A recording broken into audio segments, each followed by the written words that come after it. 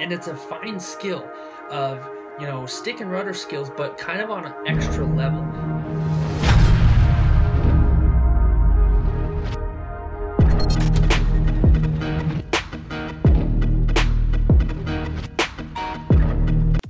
Hey, what's going on, Mile High Firebird fans? Welcome to this video. Uh, if we're just meeting, my name is Seth, and this channel is Mile High Firebird. We talk about cool pilot jobs, we talk about ways to build time as a pilot, and I like to show you what it looks like from the air at a 1,000 feet. So, what are we talking about today? Well, um, you like my shirt? Still playing with airplanes. That's right. Anyways, so we're gonna do a quick Q&A video today, uh, just to answer some of you guys' questions that I've seen through different posts and on YouTube. But before we get into the Q&A, uh, just wanted to say thank you guys for being here. 500 subscribers. Can you guys believe it?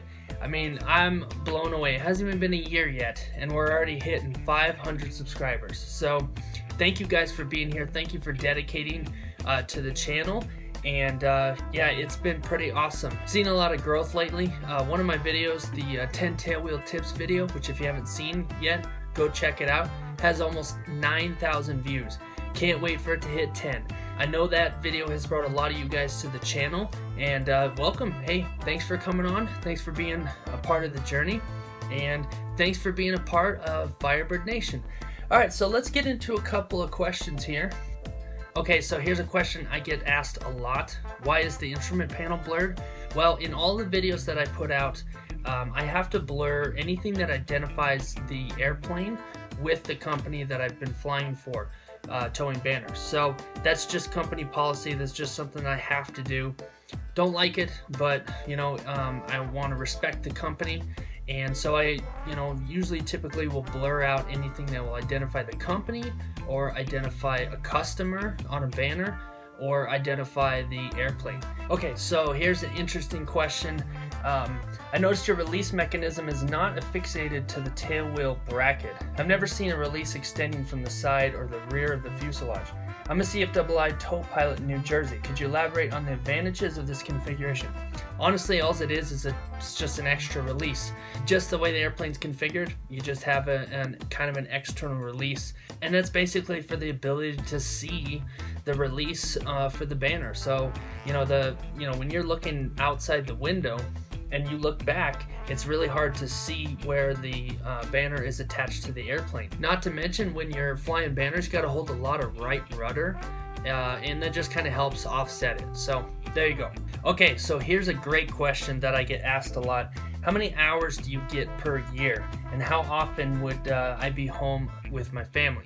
So as a banner pilot, there's two seasons. There's off season and on season. Typically the on season's from memorial day 4th of july through labor day. So basically the summer. And depending on where you live you could spend a lot of time away from home but then you're home all winter. Um, also depends on if you're a full-time or part-time pilot. I highly recommend flying as absolute much as you can, build as many hours as you can, and you will see and get to do some awesome things. I spent the entire summer in New York and New Jersey, and it was great. Great place. Loved seeing Long Island. Loved seeing um, New York, which those videos are still coming. I'm sorry, you guys. It's been absolutely crazy. Uh, right now, I'm in the middle of training for a new job, flying cargo. So there's a lot that I have to go through and that's kind of why my schedule, my upload schedule has been a little bit uh, random. So I'm gonna continue with the videos. It's just gonna take a little bit once I get through training. All right, so another great question here. How quickly would I be able to go from zero hours to qualified to tow banners if I took lessons three to four times a week? Is it a 250 hour job? Well, there is no hour requirement, at least with our company. Um, you can if you want to, you can fly as much as you want. You know, it depends on the weather, depends on the schedule, but uh, you can build hours pretty quickly. Not to mention, it'll take about a week to two weeks to get yourself spooled up to where you can uh, be able to be soloed and flying banners by yourself. So not much time at all. You just got to spend the time to actually get the training done and then the hours are just going to build after that. All right, got another great question here. Why do you need a tailwheel endorsement? Can you not tow in a tri-gear such as a Tri-Pacer or a Cessna 172? Well, honestly, you don't need a tailwheel, but most companies that fly banners uh, will fly tailwheel aircraft. They'll fly bird dogs, or they'll fly Pawnees, or they'll fly, you know, Super Cubs like we do. So you know, it's good to have your tailwheel. Plus, trust me, it is the best endorsement you can get. It is so much fun. It's you in the airplane, and it is just great. I've actually seen plenty of companies that tow with 172s. Uh, they'll tow with, you know, uh, tri-pacers, whatever it is. But honestly, most companies will tow with tailwheel aircraft. So that's why I highly recommend getting your tailwheel endorsement. All right, got another great question here about how much money did it take for you to go from zero to 250 hours? Honestly, it varies on the school and it varies on whether you go part 61 or you go part 141. Part 61 is usually a business, small business, a flight school, and so part 61 they're going to charge their own fees and rates, you know, depending on where you live and stuff. But then on the part 141 side, you'll be going through an accredited program where you should be able to apply for grants and all those things if you want to. It's more like a college degree. So it really depends on what direction that you go. And if you decide to go in the direction of the Part 141, like I did, you might be able to get funding. I was able to get funding through uh, the VA being a veteran. So if you are a veteran, 100% recommend you use the GI Bill to get yourself through private instrument and commercial, but you can only do it if you get your instrument and your commercial. They won't just pay for your private. You should definitely look into it if you're a veteran. Use the GI Bill and get your pilot's license. Okay, so this is a uh, long question, but basically he's asking, you know, how's Florida? What's it like? I'll tell you what, I'm from Colorado, born and raised in Colorado, decided to move to Florida, and I gotta tell you what, Florida is awesome. I really, really enjoyed spending the time that I did in Florida. South Florida, Miami, what a cool place, especially from the sky. I gotta tell you, the just the things that you get to see, which I will have a Miami video coming soon. He also asked, how did you manage your flight training and your family life? Well, it's not easy. Um, honestly, being a pilot is something that is very challenging if you're married, if you have kids. I'm able to do it because uh, the person that I'm married to is absolutely awesome. She is a very forgiving and very understanding woman, and I love her to death. And so, yeah, it takes time away from my family, but honestly, you got to come up with compromises that you're willing to accept, willing to swallow, and um, if you are able to get through that, the future for you is really bright.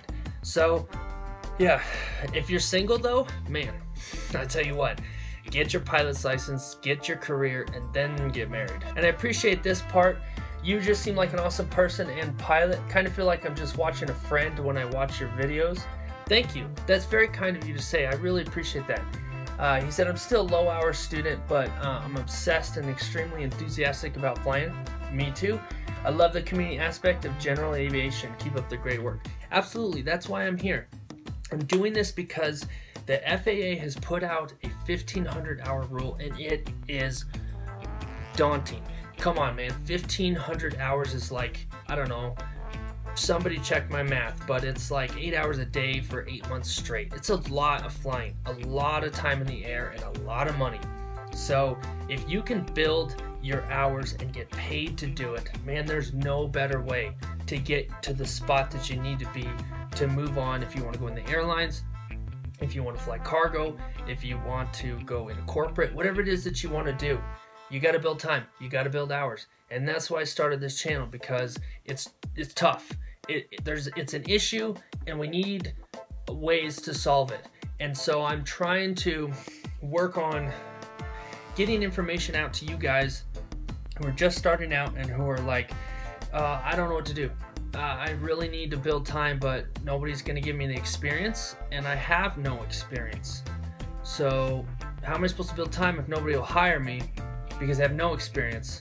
But I need somebody to hire me so I can get experience. It's this weird dilemma. And so, banner towing and even flying cargo, you can start as a low time pilot. And yeah, it's a, let's be honest, it is a steep learning curve, but you know what? It's worth it and you can get in the system and you can get going and you can build time and you get paid to do it.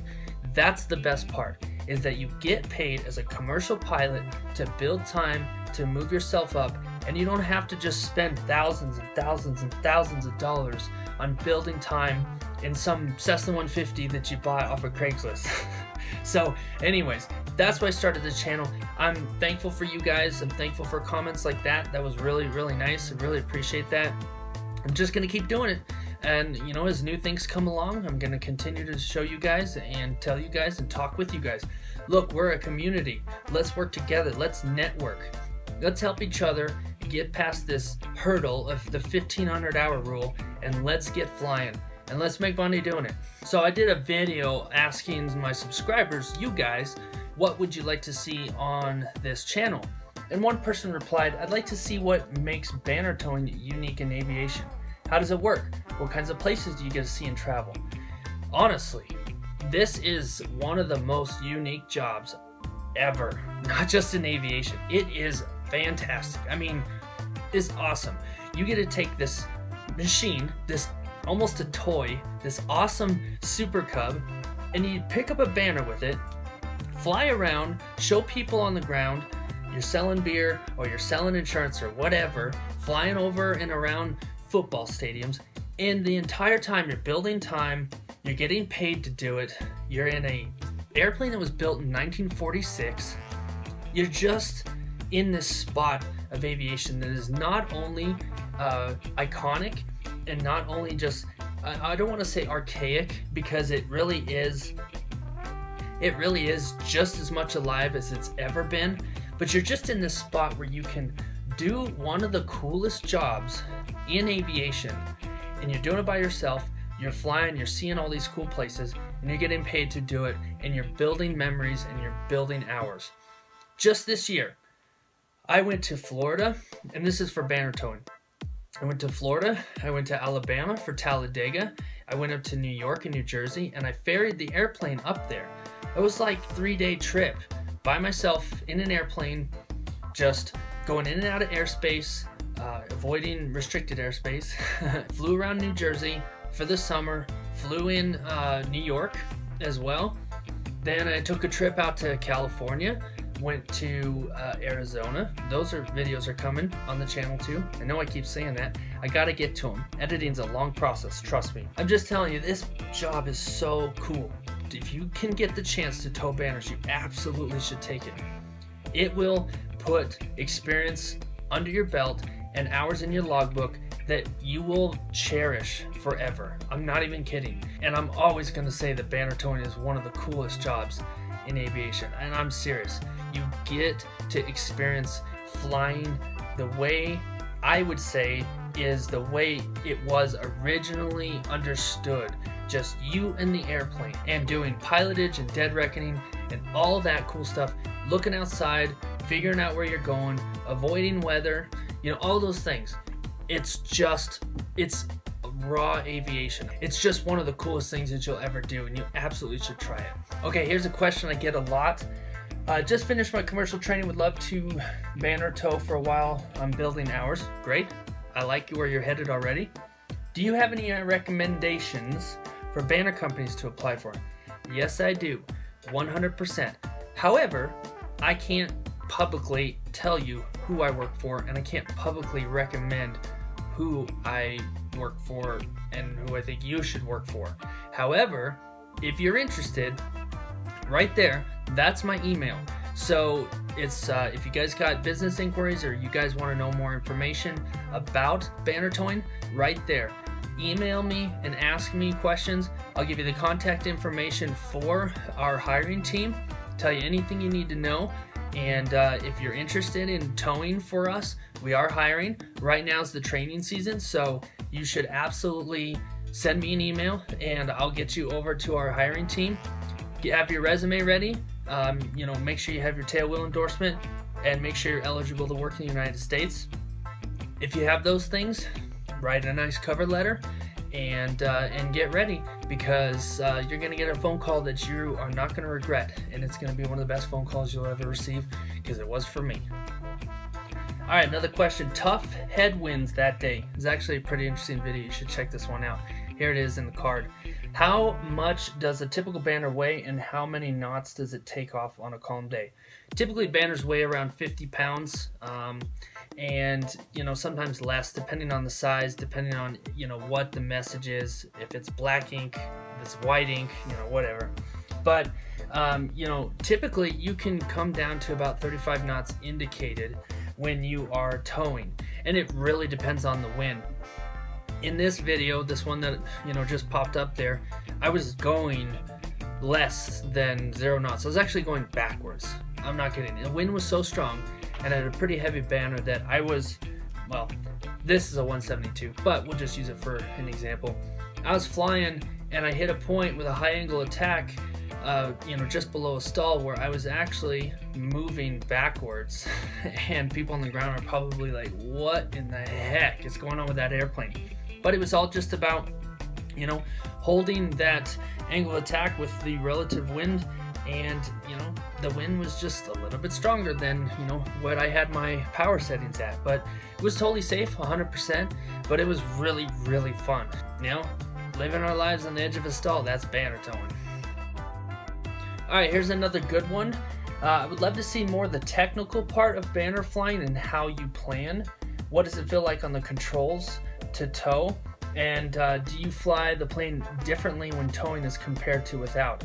Yeah, the technical stuff um, when you're flying, you learn that in training, but you basically learn to fly the banner. Um, it's and sometimes the banner's kind of flying you, or as we would say, the tail is wagging the dog. But you basically are, you know, you're just you're just feeling the airplane. You're feeling the banner, especially when you're in a turn you can really feel the effect of the banner, especially when there's like you know certain crosswinds. You can feel it pull, and you just listen to it. And it's a fine skill of you know stick and rudder skills, but kind of on an extra level, kind of on a mega level of feeling the banner that is you know 100 something feet behind you, and you're just kind of feeling how it works as you fly. And you know, of course, once you release that banner your stability changes.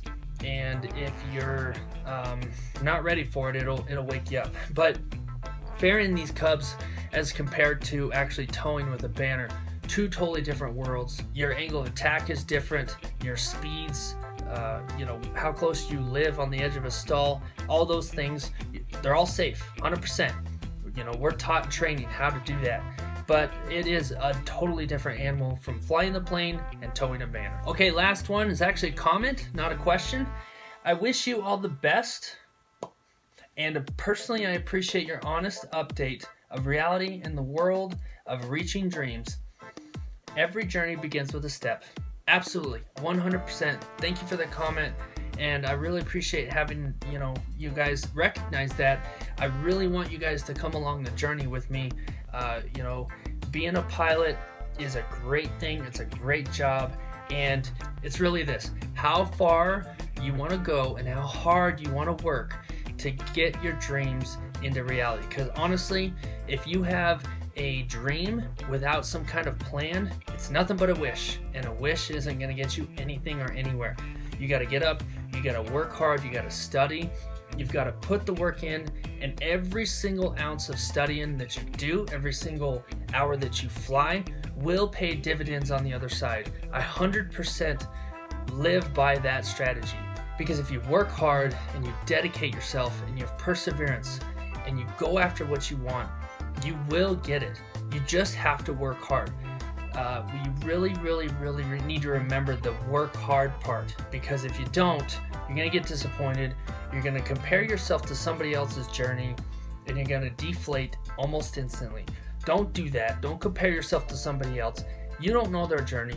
You don't know how hard they worked. You don't know what sacrifices and compromises they had to make because you don't see that. You just see that they're successful. But let me just promise you that if you work hard, yeah, you're going to have some bumps. You're going to have a lot of trials and you're going to have a lot of times when you want to quit. I know, I've been there. I wanted to quit a couple of times and um, I didn't. It was tough. It was really, really tough, but I just worked my way through it. And it's kind of hard as a pilot, especially when you're by yourself. It's really tough to stay motivated, but you can do it. I believe in you and I promise you that you can do it. So, yeah, um, go out and get your dreams. Go out and figure out what you want and go do it. And don't let anybody tell you that you can't because you can. You just have to work hard. If you don't work hard, nothing's going to come to you. Nobody's going to knock on your door and say, hey, here's a free airplane.